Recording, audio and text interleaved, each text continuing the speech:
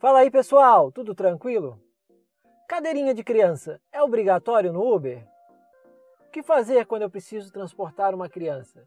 Se você não sabe o que fazer, me acompanha nesse vídeo que eu vou te dar algumas dicas aí de como é que está funcionando a nossa legislação, além de uma dica bônus aí no final que vai te ajudar a aumentar a quantidade de corridas com crianças que você vai poder fazer e ainda ajudar na sua avaliação. Antes de mais nada, há pedidos, porque sentiram falta no outro vídeo, né? Para quem não me conhece, o meu nome é Fernando e eu sou motorista UberX em Florianópolis. Se você ainda não se inscreveu, ó, se inscreve aqui no canal agora, vai ter botão aqui do lado e aqui embaixo. Clicando no sininho e se inscrevendo, sempre que eu postar vídeo novo o YouTube te avisa. No final, não esquece, gostou? Deixa aquele like. Em alguns comentários recentes aqui no meu canal, eu recebi algumas dúvidas com relação à cadeirinha de criança, se pode, não pode, se é obrigatório ou não. Eu fui dar uma consultada, fui pesquisar na internet e até vi alguns materiais aí que nos deixam dúvida, que nos levam à dúvida, né? Porque existe até vídeo que fala que pode no Uber transportar criança sem a cadeirinha. E não é verdade. Em 2010 aí foi promulgada uma lei que determina que crianças até um ano, um ano e pouquinho, a criança tem que andar no bebê conforto. De um ano e pouquinho até quatro, ela tem que andar numa cadeirinha. E de 4 até 7 anos e meio, ela tem que andar num assento de elevação. De 7 anos e meio a 10, ela pode trafegar sem nada, mas no banco de trás. No banco da frente, só com mais de 10 anos. Em 2015, uma resolução do CONTRAN, deixa eu ver, eu até anotei aqui na minha burrinha para me ajudar. Resolução do CONTRAN 533-2015, ela fala que veículos como táxi, veículos de aluguel, placas vermelhas, e transporte coletivo ou veículos acima de 3 toneladas e meio, como micro-ônibus, aquelas vans, vans escolar, eles estão isentos do, da cadeirinha ou de qualquer outro acessório para estar transportando criança. Infelizmente, o Uber ou o transporte individual, particular, por aplicativo, o que for, não está previsto nessa lei, logo não se enquadra.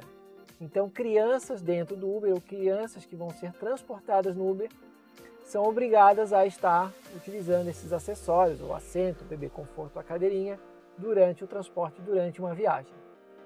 A responsabilidade de ter esses acessórios, o bebê conforto, o assento, a cadeirinha, é dos pais da criança. Então, o motorista Uber não é obrigado a ter nenhum desses acessórios, não é obrigado a, a transportar um monte de coisa no carro para, ah, se aparecer uma criança eu tenho que atender. Não, não, não somos obrigados. E podemos, aliás, devemos cancelar esse tipo de corrida por conta de que o risco é nosso.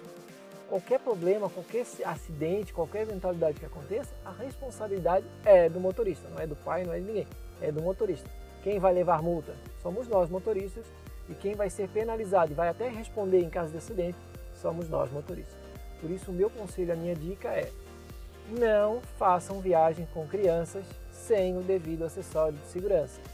Agora, uma dica aí que eu aprendi no canal Uber do Mar, vou reforçar aqui, é uma dica bacana, é uma dica barata, com coisa aí de 20, 30 reais você compra um assento de elevação, um assentozinho desse aqui, pequenininho.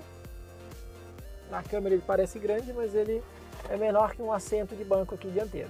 É uma coisa pequena, você carrega ele facilmente no, no cantinho do porta-mala ali e por 20, 30 reais você vai poder transportar qualquer criança acima de 4 anos até 7 anos e meio, quando é necessário isso aqui. É uma dica bacana, é uma dica simples, é algo aí que com certeza vai te ajudar na tua avaliação, porque a hora que você apresentar o seu diferencial, o seu algo a mais, você disponibilizar esse acessório para um pai que precisa transportar uma criança em eventualidade, com certeza ele vai ficar feliz, ele vai achar bacana e ele vai te dar cinco estrelas.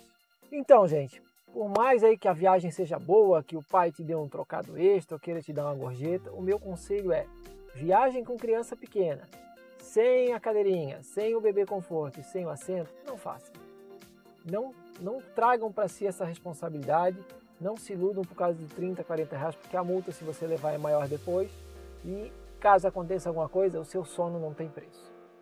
Agradeço mais uma vez aí a audiência. Se você não se inscreveu, aproveita agora, se inscreve aqui no canal, vai ter o botão aqui embaixo. Deixa aquele like, compartilha com os amigos. Ó, oh, pessoal, bacana, ó, cadeirinhas, precisa ou não precisa, transporte de criança, não façam sem os acessórios. Se tem alguma coisa a dizer, se tem alguma dica, alguma experiência que já passou, não esquece de deixar aqui no comentário, ajuda a enriquecer o conteúdo.